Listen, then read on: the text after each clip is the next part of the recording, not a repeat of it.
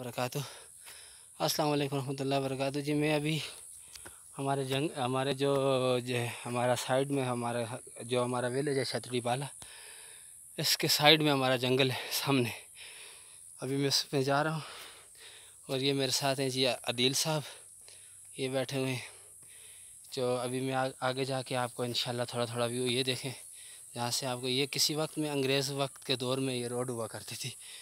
और इसी तरह वो पीछे देखें जहाँ से मैं यहाँ से अंग्रेज़ जो जो लेडीज़ होती थी उनको, उस वक्त तो गुर्बत थी, पैसे नहीं थे, दौर इतना मॉडर्न नहीं था।